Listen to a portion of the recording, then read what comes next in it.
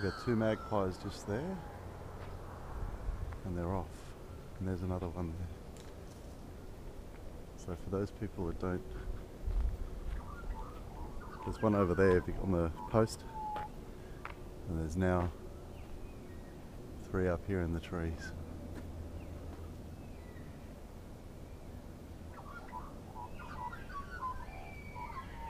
There's one.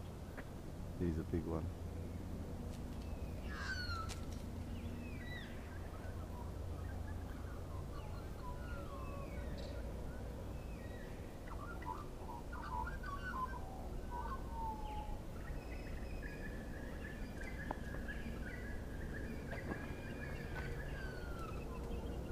And they are known for attacking people that come near their nest, but it's autumn, so they're not expect. Oh, sorry, it's winter, so we won't expect that to happen.